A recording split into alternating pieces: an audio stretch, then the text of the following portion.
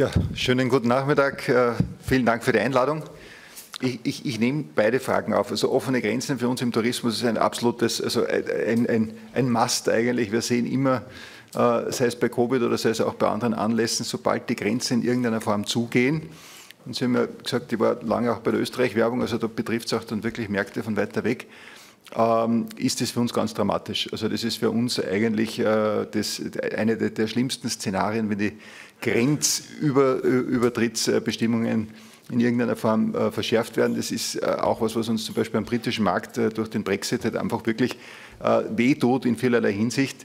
Die zweite Frage, was die Qualenbahn betrifft, ist für den Tourismus eine Riesenchance. In Kärnten gibt es eigentlich drei Aspekte. Der eine Aspekt ist, dadurch rücken wichtige Herkunftsmärkte näher für uns. Also in erster Linie natürlich jetzt einmal in einer Phase 1 die Steiermark, äh, weitergedacht äh, dann der ganze ostösterreichische Raum, also wichtige Märkte für uns, Niederösterreich und Wien und, und auch äh, die Slowakei, weil die Gäste halt einfach eine nähere Anreise haben und wir wissen, und ich glaube, das kann jeder selbst nachvollziehen, je schneller ich wo bin, desto attraktiver ist dann auch die Destination.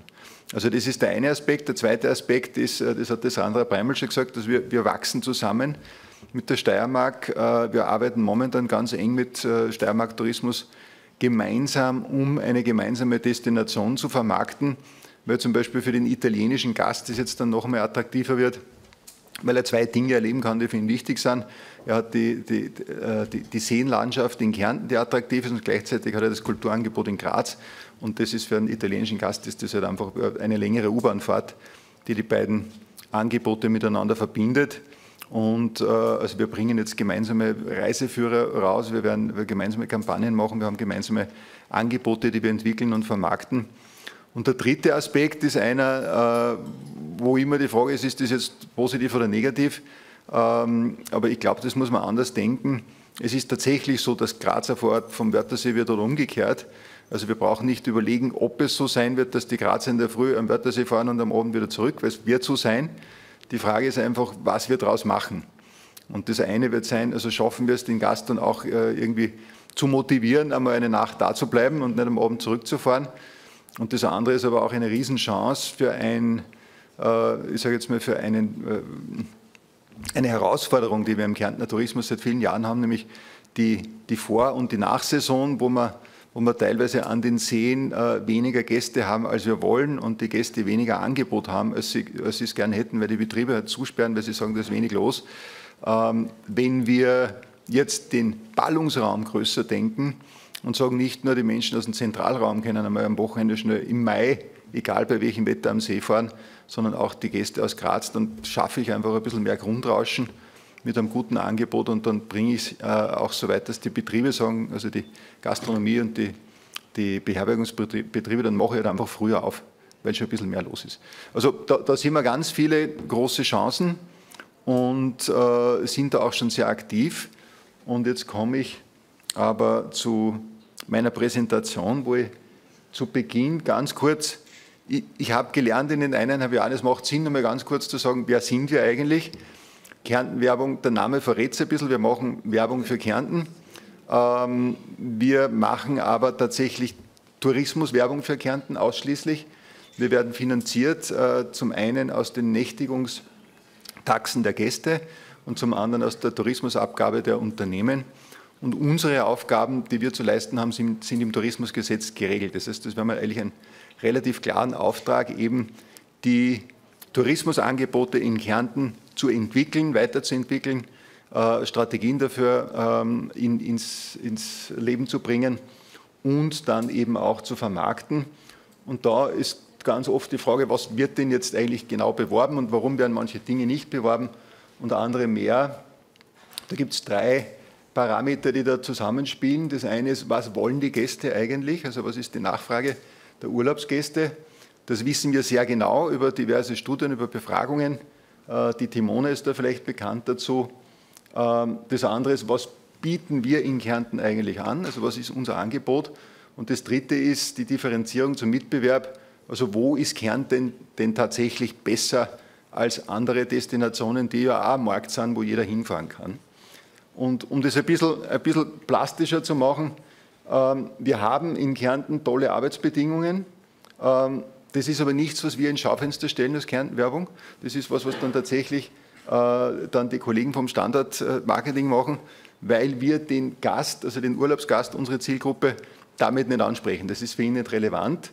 Ähm, das heißt, wir, wir haben ähm, als, als, wir ziehen an einem Strang, haben aber unterschiedliche Zielgruppen. Das heißt, wir arbeiten sehr eng zusammen, wenn es darum geht, was ist unsere Marke, was sind die Geschichten, was sind die Bilder. Aber irgend, irgendwo gibt es dann doch äh, Unterscheidungen bei den Zielgruppen. Also wenn es darum geht, Studierende anzusprechen, Arbeitskräfte anzusprechen oder eben Urlaubsgäste anzusprechen, äh, da gibt es sehr viele Gemeinsamkeiten, aber eben bei manchen äh, Angeboten sagen wir, das ist nicht mehr unser, unsere Aufgabe oder das ist nicht das, was den Urlaubsgast eigentlich interessiert.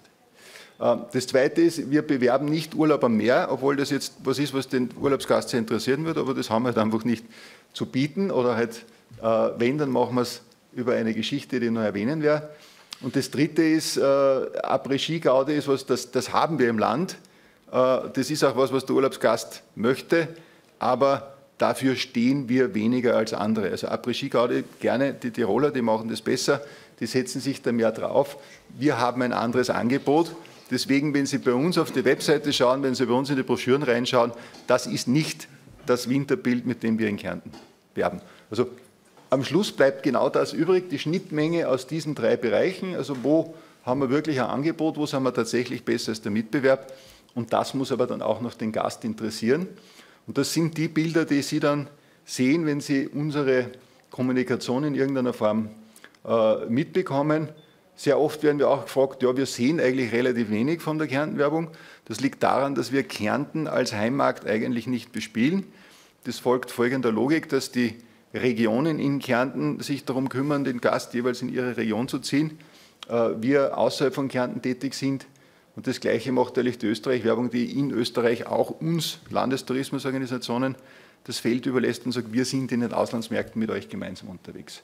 Aber das sind die Bilder, die Sie wahrscheinlich dann doch ab und zu auch mal sehen. Also das ist der See, äh, das ist der, der Badesommer an den Seen, das ist äh, das, das Thema äh, Naturalpin, sehr oft in der Kombination Berge und Seen, weil das ist was, was uns wirklich vom Mitbewerb abhebt. Das gibt es nicht so oft in der Kombination. Und dann natürlich auch Winter, das ganze Thema Familie. Das sind die Botschaften, das sind die Bilder, mit denen wir rausgehen. Äh, und dann kommt noch etwas dazu, und da bin ich ganz oft gefragt worden, als ich äh, vor einem Jahr angefangen habe, äh, nämlich, lieber Klaus Jernbrandner, du warst so lange draußen irgendwie für die Österreich-Werbung tätig, was ist denn das, das wirkliche Asset für Kärnten? Also was ist das, womit wir uns wirklich unterscheiden können? Und das ist tatsächlich unsere Lage und unsere Geschichte in einer Region, die von drei Kulturen geprägt ist. Also diese Schnittstelle dreier Kulturen, das ist für einen Urlaubsgast extrem spannend, weil er halt in einem Aufenthalt mehr bekommt als nur ein Land, sondern in Wirklichkeit drei Kulturen, drei Sprachen, äh, drei, drei Küchen, die da aufeinandertreffen. Also das heißt, das ganze Thema Alpe-Adria-Raum ist für uns eine ganz wesentliche Botschaft, die wir in der Tourismuswerbung auch ausspielen. Ähm, wir machen das, um drei Dinge zu erreichen. Zum einen wollen wir Menschen inspirieren. Also die Leute, die uns gar nicht am Schirm haben, denen sagen wir, hallo, uns gibt es, wir sind Kärnten, bei uns gibt es Berge und Seen, bei uns gibt es äh, ein Alpe-Adria-Erlebnis. Denkt doch mal an uns. Äh, wenn die Gäste so weit sind, dass sie sich mit uns schon ein bisschen auseinandersetzen, wollen wir sie im Detail darüber informieren. Was gibt es denn bei uns an Veranstaltungen, was gibt es bei uns an, an Hotellerie, was gibt es bei uns an Gastronomie und so weiter. Und das Dritte ist, äh, wir möchten, dass die Gäste, wenn sie hier sind, ein gutes Erlebnis haben. Auch dafür sind wir in gewisser Weise zuständig, also Produkte zu entwickeln, gemeinsam mit den Regionen und den Betrieben, damit die Gäste hier zufrieden wieder äh, nach Hause fahren. Warum ist das wichtig? Ähm, wir haben, das wissen wir aus der Gästebefragung, ein Drittel der Gäste, die bei uns sind, sind hier, weil sie von Bekannten und Verwandten Empfehlungen erhalten haben. Also da geht es um den den äh, Weiterempfehlungseffekt. Und das Zweite ist, ein Drittel ist hier, weil sie schon mal hier waren und zufrieden waren und gesagt haben, in Kärnten ist toll, da bin ich wieder hergekommen.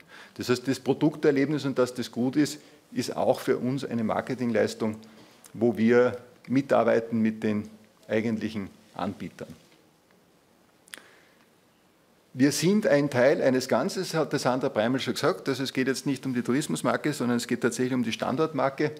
Äh, dieses It's My Life, das ist eine, eine Haltungsmarke, wo es jetzt weniger darum geht, dass wir den Leuten sagen, lieber Gast, It's My Life, sondern wo es mehr eigentlich nach innen gerichtet. Die Botschaft ist, äh, das ist unsere, äh, das ist unser, unsere Gegenwart, das ist unser, unser Land, das ist unser, unser Standort, um den es da geht.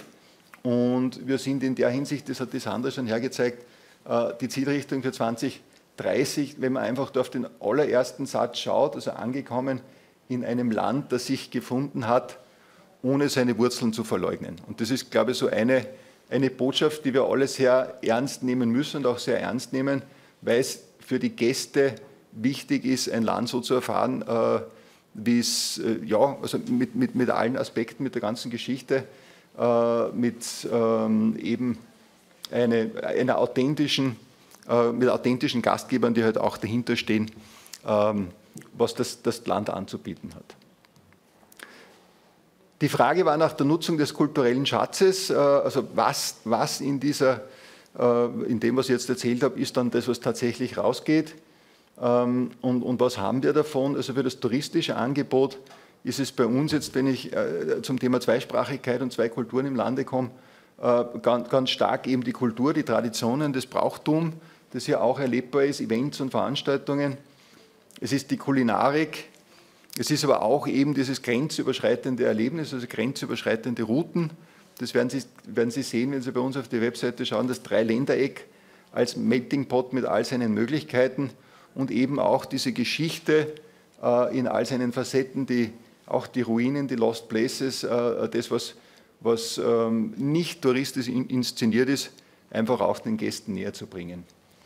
Für das System Tourismus ähm, ist dieser kulturelle Schatz wichtig, einerseits, weil wir ein Potenzial haben an zweisprachigen Fachkräften, also das ist im, im Tourismus natürlich ein wichtiges Asset, äh, einen starken Binnenmarkt, weil die Slowenen ja einerseits ein Auslandsmarkt für uns sind, äh, per Definition, aber andererseits eigentlich Gäste sind, die, die, die nach Hause fahren, auch in ein, in ein Land, wo sie sich dann auch äh, in der eigenen Sprache im besten Fall gut unterhalten können und da auch ein bisschen einen, einen, ja, eben dieses im Ausland und doch daheim erleben können. Und zum Dritten natürlich auch über Produzenten und Lieferanten, die halt einfach diese zwei Kulturen auch hier im Land miteinander verbinden, was für Gäste ein sehr spannendes Erlebnis ist. Und das beginnt, ich fange jetzt mal ganz niederschwellig an, äh, dabei, dass wir einfach auch Geschichten erzählen können und auch die Sprache da ein bisschen reinbringen und, und Geschichten erzählen, warum ein Hotel auf der Gerlitzen Feuerberg heißt, äh, auch, auch die, die gemeinsame kulinarische Kultur. Ähm, also es, es, gibt der Kärntner Küche, es gibt der slowenische Küche, aber in Wirklichkeit ist das, ja, ist das ja eins, auch das erlebbar zu machen. Und im Rahmen von Veranstaltungen, all diese, all diese Möglichkeiten, beide Kulturen zu erleben, sei das jetzt am Bleiburger Wiesenmarkt, sei das jetzt am Villacher Kirtag ähm, und, äh, und dort auch dem Gast das zu bieten, dass er im Land zwei Kulturen äh, auf einmal leben kann. Dann haben wir natürlich grenzüberschreitende Angebote in, in vielerlei Hinsicht. Äh, ein Flagship ist sicher der UNESCO Geopark Karawanken, ähm, das ja nicht ein sage jetzt mal, nicht eine Destination ist, sondern eigentlich eine ganze Vielfalt an Angeboten äh, auf beiden Seiten, die da miteinander sehr intelligent verknüpft sind und den, und den Menschen die Möglichkeit bieten, halt jetzt wirklich rundherum äh, alle Themen, die wir in, Kärnten und Slowenien gemeinsam spielen, auch zu erleben. Und dann sind es viele grenzüberschreitende Touren. Der Trauradweg, äh, der in dem es über mehrere Länder geht, aber halt zentral über Slowenien und, und Kärnten. Der Traupadelweg, den wir jetzt ausweiten wollen, eben auch mit einer, äh, mit einer Weiterfahrt nach Lavamünd äh, in Slowenien, Projekt, an dem wir gerade arbeiten. Der Alpe Adria Trail sicher ein Flagship, wo es äh, darum geht, eben diese drei Kulturen miteinander zu verbinden und erlebbar zu machen und auch die Geschichte dahinter zu erzählen.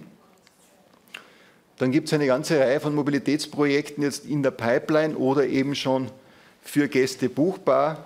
Ähm, gut etabliert haben sie, die, haben sie die Sprinter, also der Mikrotra-Sprinter, der Karawanken-Sprinter, wo es darum geht, dass ich auf der einen Seite äh, ein gutes Radangebot habe, also gute grenzüberschreitende Radwege, aber gleichzeitig auch das Mobilitätsangebot, dass ich mir dann eben in, in, in Kranjska Gora, äh, in, in, in Ljubljana, in äh, Davis, in Udine, wo auch immer, dann auch in einen Zug setzen kann und mit meinem Rad wieder zurückfahren kann. Und wie gesagt, einige Mobilitätsprojekte, die grenzüberschreitend sind, die auch gerade im Werden sind oder, oder in der Pipeline sind. Was heißt das zukünftig für die Kärntenwerbung? Also das ist das Bestehende, aber, aber wie geht es jetzt weiter? Ähm, das Wörthersee Gravel Race haben Sie vielleicht äh, mitbekommen, dieses Jahr zum ersten Mal mit großem Erfolg. Auch da war der Ansatz, dass man gesagt hat, man macht keine Wörthersee-Veranstaltung draus, sondern es ist wirklich bewusst die Routenführung auch ins Rosental, äh, um einfach mehr zu zeigen als das, als das Bekannte und auch, auch diese, diese kulturelle Vielfalt im Land darzustellen. Wir ähm, haben ein Projekt ähm, in, in Arbeit, wo es darum geht, den Alpen-Adria-Raum auch mit dem Auto gut erlebbar zu machen. Und wir haben ähm, eine schöne Geschichte, äh, die sie etabliert hat, die Adventmärkte in, in Kärnten, ein Zusammenschluss, ein wunderbares Adventerlebnis, das immer populärer wird, auch gerade für den slowenischen Gast, für den italienischen Gast, wo wir daran arbeiten, das zu professionalisieren, die Gäste vermehrt dazu zu bringen, dass sie auch hier bleiben und äh, auch auf diesen Weihnachtsmärkten dann ein sehr vielfältiges ähm, zweisprachiges Angebot dann auch, wenn ich zum Beispiel an die Betzen denke, hier erleben zu können. Und ja, Slow Food Kärnten ist, ist, ist äh, glaube ich, bekannt, ist ein Programm, wo auch äh, die, die Vielfalt im Land und, und auch die zweisprachigen Gastgeber und so weiter äh, gut abgebildet sind. Wir werden generell aus der Marke heraus vermehrt nicht nur mit Landschaften und mit, ich sage jetzt mal Bergen und Seen, sondern auch mit der Kärntner Seele ein bisschen arbeiten, wo natürlich jetzt diese kulturelle Vielfalt ein wichtiger Faktor ist und wollen Kärntner Originale ins Schaufenster stellen. Und letztlich geht es halt auch immer wieder darum, Events und Brauchtum äh, sichtbar zu machen auf all unseren Kanälen.